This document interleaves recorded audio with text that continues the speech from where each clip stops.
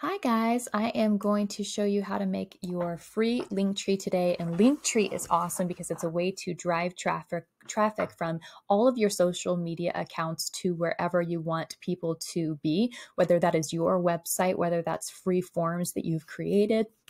I'm happy to show you how to do that too. But let's start by looking at Linktree. So the first thing you're going to go do is go to Linktree and claim your name. You can have it be a real estate name, just your full name, whatever you want. And you're going to create a free account. They do have some pricing if you want to like make it prettier, um, but start with a free account. All you have to do is answer a few quick questions. It takes less than five minutes, and I'll show you what it looks like once you get in. So this is the kind of the back end of mine. Over here is where you can see what it actually looks like on a phone to people. I pay the, it's $5 a month, like $5 a month. And that makes it prettier as far as the background colors that I've chosen here, as opposed to just having it kind of like gray. But as a free one, you can still have all the links that you want and a picture of you and a name. So it's not bad and they've got templates for what you want it to look like if you do end up paying that $5 a month. Now, you can create a ton of different links. You can toggle them on and off if you decide today you're like, mm, you know, I'm whatever. I, I no longer wish to do that. You can turn them on or off. Um, you can easily arrange the order that you want it to appear. All you have to do is drag. And let's see how to add a new link we're doing add a new link and we're saying, you know, go to my website and www whatever, enter it, it's already linked. It's that easy.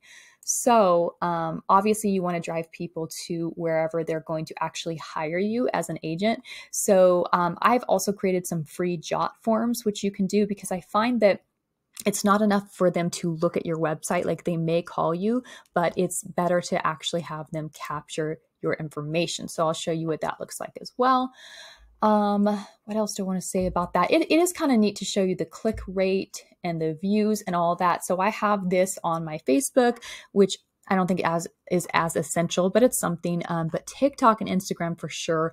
And I know this looks funny. I do have my Amazon wish list. If you are a female on TikTok, it's bound to happen. Don't knock it. People will just like send you stuff and it doesn't show your address if you set it up the right way.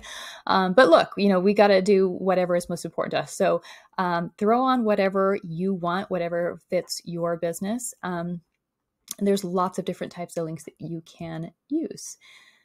Um, yeah, so let's take a look at mine. So if you click the link, it's going to take you immediately to the Facebook group that you're in right now. Um, I was going to show you the forms. So I've created a couple different forms. So buyer, seller, I mean, these are free and super simple, right? So I'm just asking, I'm basically just trying to capture their information here. You can set a jot form up within five minutes. And then as far as realtor referrals, because if you are on um, some of the sites like TikTok or Instagram, you may be getting people contacting you because they like your content, but they want to sell in a different area. Maybe they want to move to your area. So, hey, you want to get that referral fee.